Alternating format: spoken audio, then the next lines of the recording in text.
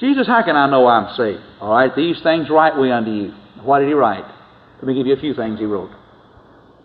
He wrote in John 3.36, He that believeth on the Son hath everlasting life. He wrote that. All right, dear Jesus, I'm believing on Jesus Christ. I believe He died for me. I believe it's the cross. He suffered my hell and paid my debt. I believe that. I'm trusting Jesus as my Savior. All right, in writing, you believe on the Son. You have everlasting life. I know I have it because He wrote it in the Bible and said so. Romans 10 13, Whosoever shall call upon the name of the Lord shall be saved, or I call on him. He said, If I call, I'm saved. I know I'm saved because he said so and put it right here in writing. Right? Huh? John 3, 3.16, that whosoever believe in him should not perish but have everlasting life. He wrote it. You believe on him, you have everlasting life, you'll never perish. I know I'm saved because of what he wrote. These things write we unto you that believe on the name of the Son of God that you may know you have everlasting life. If you doubt your salvation at this moment, there are only two things that you can doubt. You either doubt that you are trusting Him, or you doubt that He meant what He said, one or the other. You can't doubt anything else. I led a lady to Christ. She was over 60 years old, near 70, I guess. I, will never forget it. And I had the most difficult time leading her to the assurance of salvation. After she had prayed and said, All right, I will trust Jesus Christ as Savior, then I said to her, Now then, Mrs. Uh, so and so, if you died today, would you go to heaven? She said, I hope so. Listen. I said, Hope? Yeah. She said, I hope I will. I said, That means you have some doubt. She said, That's right. I said, Now listen, I'm not going to leave till we get it settled because I'm here to help you. I said, There's only two things you can doubt. You either doubt that you're trusting Him completely for your salvation, or you doubt that He meant what He said. Now, which one do you doubt? She said, Well, I don't doubt that He meant what He said. I, I don't believe God would lie about it. Especially, put it there in the Bible in writing for everybody to read. I don't believe God would lie. He said, I had everlasting life. I said, well, there's only one thing left you can be doubting. That's that you're trusting Him. And I said, you prayed a minute ago and told Him you would trust Him. And you'd depend on Him to get you to heaven. Now, did you mean it? She said, I meant it.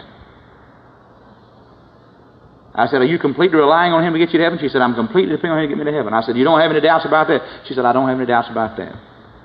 I said, Well, it said, He that believeth on the Son hath everlasting life. You don't doubt you believing. You don't doubt He meant what He said. Now, show me what else you can be doubting.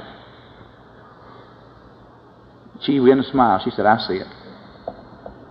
If I don't doubt that I'm trusting Him, and, and I don't doubt that He meant what He said, and He said I had everlasting life, she said, I have to have everlasting life. He said it in the Bible, it has to be true. And she began to smile. She said, You know, I have everlasting life.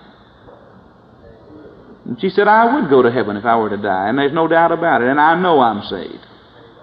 Why do you know you're saved? Because God Almighty said so, right here in the Bible. He that believeth on the Son has everlasting life. I said, now when that verse ceases to be true, you might be lost. But as long as that verse is true, you're saved. She saw it. I had rather have what this Bible says, and I'll be through. I had rather have what this Bible says for the assurance of my salvation than to have every angel in heaven come down from heaven tell me I'm saved. Gabriel come down. We all say, Well, I say, Gabe, glad to have you here today. Anything you want to tell us? Yeah, he said, Dr. Hutson, I want to talk to you. Oh. What do you want to tell us? Dr. Hutson, I want to tell you that you're saved and you have everlasting life, and when you die, you're going to heaven. Well, I'd say, now, Gabriel, I'm glad you came. That's a long trip you to make. And I appreciate you coming. But you know you didn't need to come. As a matter of fact, I got something better than your testimony. Oh, I'm an angel. I know. I know you're an angel. But there's a group of angels messed up. They're reserved in everlasting chains of darkness of the great day. They kept not their first estate, but left their own habitation. Can't always trust angels, Gabe. well, don't get upset. Don't lose your temper. So here comes Michael. Michael says, I came all the way to heaven to tell you you're saved. I said, now, Mike, you shouldn't have done that. I'm glad you came. We'll have breakfast together, fellowship together. But you need not come all the way down here and tell me I'm saved.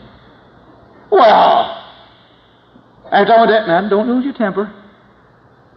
I got something better than your testimony. But what have you got? I got God Almighty's Word in writing. I'd rather have this in the tape recording of God's voice on a tape recording. I'd play it in the cassette tape. Curtis, you're saved. I, would always think some nut'd put that on a tape recorder. I'd rather have this and have, have him call me up on the telephone. If he called me up on the telephone tonight and said, This is God. I want to tell you that. I wouldn't believe it. You wouldn't either. You'd think some nut had called you. You, ne- you never would believe it's God.